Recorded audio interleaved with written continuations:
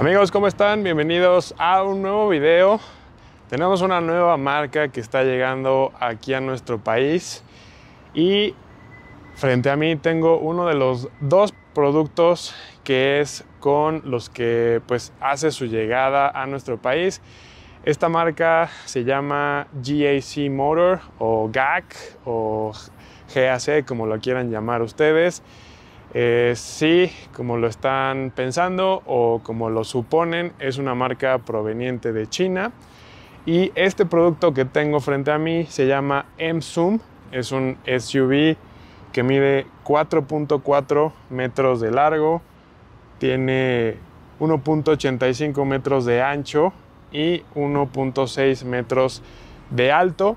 Llega en cuatro versiones y el día de hoy les voy a mostrar esta que es la versión tope de gama, la versión más equipada, la versión GL Racer que pues como lo pueden ver tiene pues un aire deportivo. Vamos a comenzar platicando sobre lo que tiene bajo el cofre. Tenemos un motor de 4 cilindros, 1.5 litros turbo cargado que genera 174 caballos. Tienes una caja de doble embrague de 7 cambios, un manejo bastante ágil, ya la pude manejar, le di una vueltecita y se siente bastante ágil, tienes por ahí modos de manejo que puedes hacer que cambie un poquito el desempeño de este eh, M-Zoom. Les voy a decir la seguridad de esta versión, que pues tenemos las seis bolsas de aire, control de estabilidad, monitor de presión de las llantas, cámara de 360 grados, control crucero adaptativo, frenado de emergencia que pues va de la mano con el control crucero adaptativo y la alerta de colisión frontal. Tienes también el asistente de mantenimiento de carril y cambio de carril y también el tema de asistente del cambio de luces en carretera. Entonces, esta versión que, como les digo, es la más equipada, me parece que viene muy completa en el apartado de seguridad. Y pues vamos ahora a conocer un poquito de lo que te ofrece en el exterior, empezando con el color. Este color se llama azul laguna. Es un color que me parece bastante atractivo a la vista, como pueden ver. Y vamos a ir viendo que Contamos con iluminación completamente con tecnología LED aquí al frente. En la parte alta ahí pueden ver las direccionales y en la parte baja vamos a encontrar los faros principales. Tenemos ese detallito en la defensa en un contraste en un color como naranja, que la verdad se ve bastante bien. Mismo detalle que encontramos aquí en la parrilla y pueden ver que la parrilla también se ve bastante, podemos decir, disruptiva con con muchas líneas, con muchas formas y pues en la parte de abajo tienes algunos detallitos en negro brillante. Estos van a ser los rines. También una parte que me pareció interesante son rines de 19 pulgadas, diseño deportivo. Tienes frenos de disco pues en las cuatro ruedas. Además de que pueden ver que las llantas son Michelin, son unas llantas Michelin 235-45 son llantas para altas velocidades. Entonces, eso también me pareció un punto interesante. Tienes aquí esta R, por el tema de la versión, que les digo es esta versión Racer. Y pues vamos a encontrar los espejos laterales que, eh, como les mencioné, tienes cámara de 360 grados. Entonces, cada espejo en la parte baja tiene eh, una cámara. Tienes también las direccionales. Y un detalle curioso e interesante, hay muchos detalles curiosos e interesantes en este vehículo, es que las manijas se eh, esconden.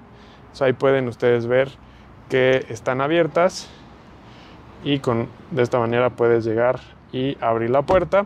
Y también otro detalle curioso, las llaves, te dan estas dos llaves, una viene en color negro y la otra viene en color blanco son llaves de presencia, tienes encendido remoto, entonces también me pareció muy curioso, muy interesante. Techo panorámico y estos rieles en el techo que vienen igual, hacen juego en eh, contraste con el color naranja. Mismo detalle aquí en la parte eh, trasera. Y pues ya viendo lo que tiene aquí atrás.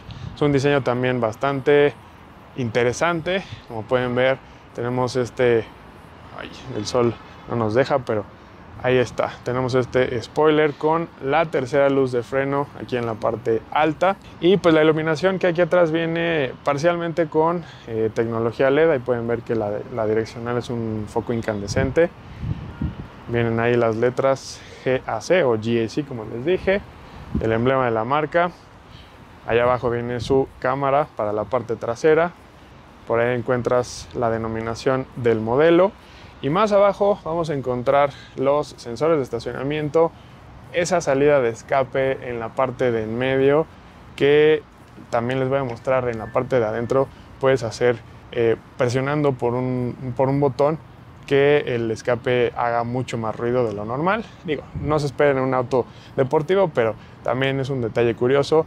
Y este difusor trasero contrastante también con este color naranja que hemos visto por todo el vehículo. Y bueno, ya que andamos por acá, vamos a acceder a la cajuela que es de apertura eléctrica. Y ahí pueden ver el espacio. Me parece que es eh, una cajuela de un tamaño decente para el segmento, para el tamaño del vehículo. Tienes eh, posibilidad de plegar los asientos de manera 60-40 si es que necesitas todavía un poquito más de espacio. La cajuela viene iluminada con tecnología LED y aquí en la parte de abajo viene su llanta de refacción que es de uso temporal y también podemos ver que tenemos un nivelador para la altura de la cajuela que voy a ver si lo puedo hacer con una mano. Ahí está. Entonces, pues es la cajuela, este es el exterior. Vamos ahora a darle un vistazo rápido al interior. Ya en la parte de adentro les puedo comentar que la calidad de los materiales se siente bien, se siente bien ensamblado y como les dije ya la pude manejar, eh, no tiene crujidos, no tiene ruidos, al menos esta unidad que, que, pude manejar. Tienes iluminación ambiental, ese detalle me gusta, aquí en la puerta, alrededor de las salidas de aire, ahorita les voy a ir mostrando un poquito más. Y aquí tienes estos controles, como les mencioné, o no sé si les mencioné, pero Tienes plegado los espejos de manera eléctrica. Tus cuatro cristales tienen función de ascenso y descenso de un solo toque. Todo esto son materiales suaves. Tienes el espacio para jalar la puerta, un descansabrazos, espacio en la parte de abajo para poner objetos. Y del lado izquierdo del volante encuentras este nivelador para la altura de los faros. Del lado derecho, tu botón de encendido.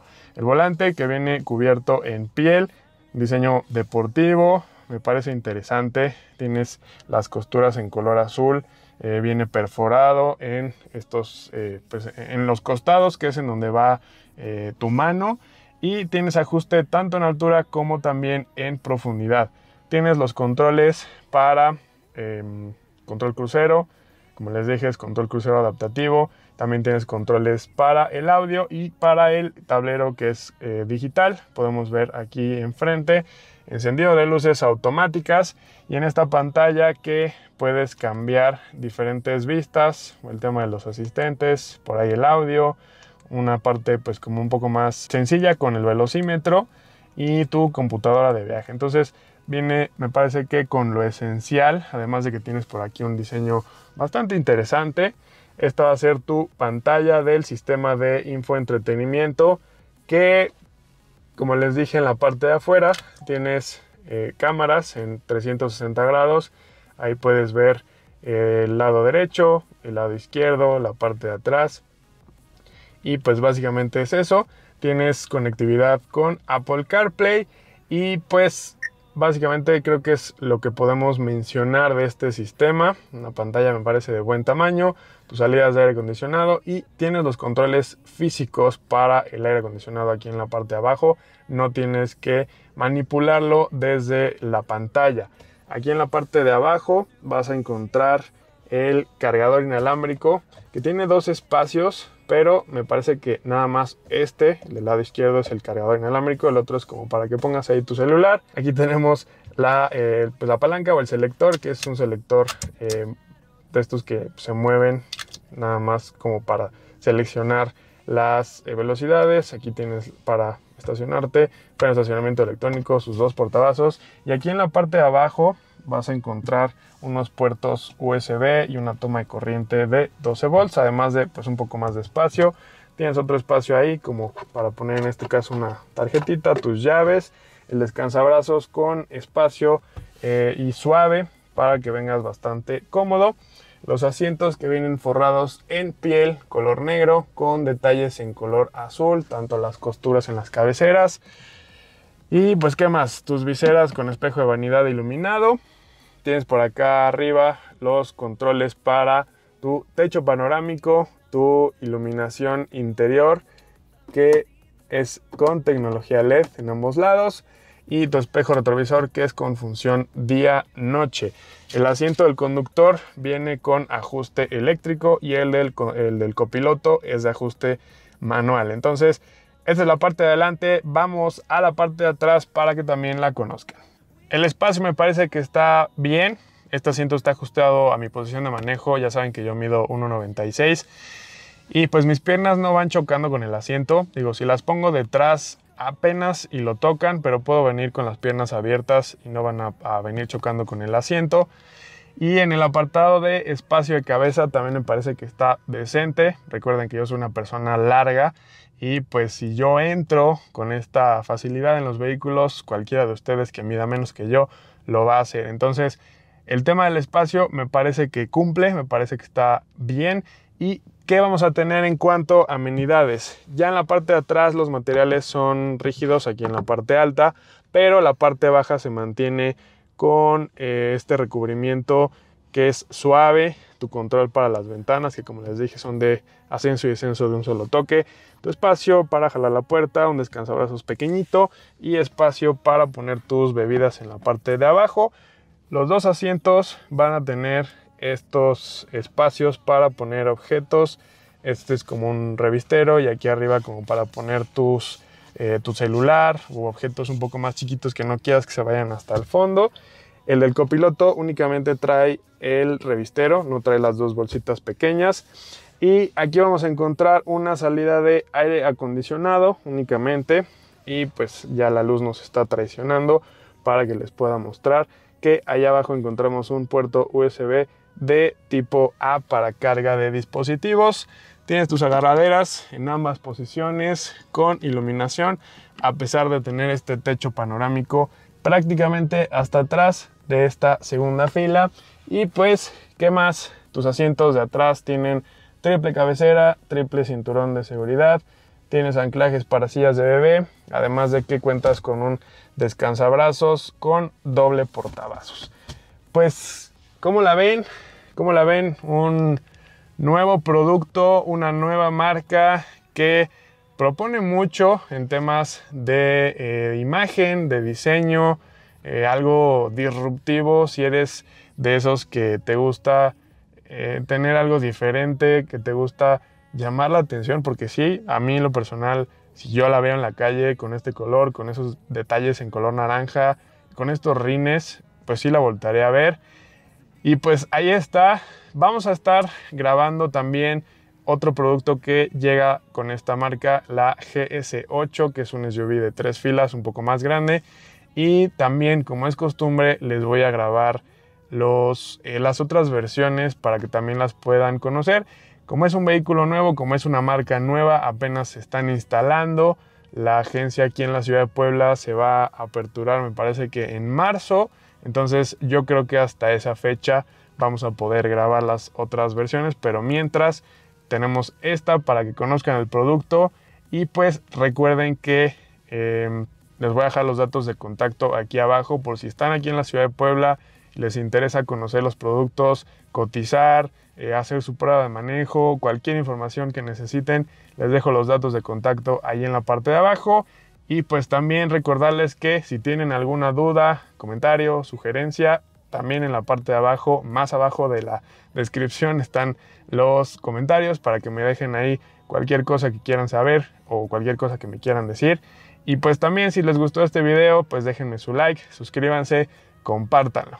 Entonces, pues me voy a despedir. Mi nombre es Sergio, esto es Auto 7 y ya los veo en el siguiente video.